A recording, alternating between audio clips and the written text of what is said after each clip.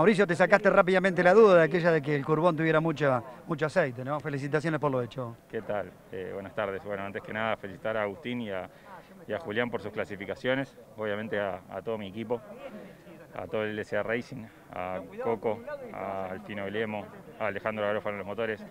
Una gran tarea nuestra. Sí, salimos rápido, eh, quería hacer la vuelta atrás de Agustín. Apenas sale Agustín, salgo yo atrás, pegadito. Y ¿Se levantó? Sí, cuando abrimos la vuelta pensé que la iba a seguir. Abrimos la vuelta y levanta en plena recta y bueno, obviamente quedo solo.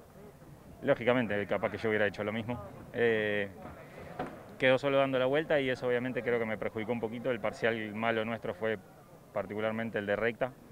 Eh, entiendo que el resto lo hizo en succión, pero, pero bueno, me sorprendió para bien el auto. Un ritmo realmente muy bueno mucha velocidad en los lugares rápidos, así que contento, contento por, lo que se viene mostrando desde La Plata, ya que estamos funcionando muy bien y hoy lo volvemos a ratificar, así que bueno, ojalá que mañana podamos seguir en los puestos de, adelante y pelear por la carrera. Ya lo decías que fines del año anterior quizás no han resultado, pero que habían tenido una buena evolución. Aquí queda marcado la contundencia en La Plata y también lo tiran en Buenos Aires y va bien el auto. Sí, sí, sí. Donde lo tiramos el auto funciona bien. Eh, por ahora por lo menos, ¿no? Eh, así que contento. Sin duda es eh, la gran tarea de todo el LCA Racing, de, los chicos que trabajan en el auto, de Nano, de Luru, de Coco, de, como dije, de Alejandro Garófalo, de todos los que hacen parte de este, este equipo que me entregan una, un medio mecánico increíble que, me permite ser rápido cada vez que salgo a pista. ¿Quedan dudas para lo que será el recorrido o pudiste probar en el entrenamiento algo para ver cómo va en el ritmo el auto?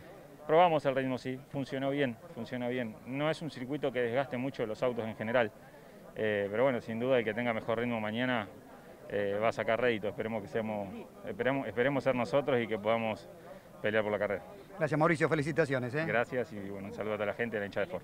El testimonio de Mauricio Lambiri.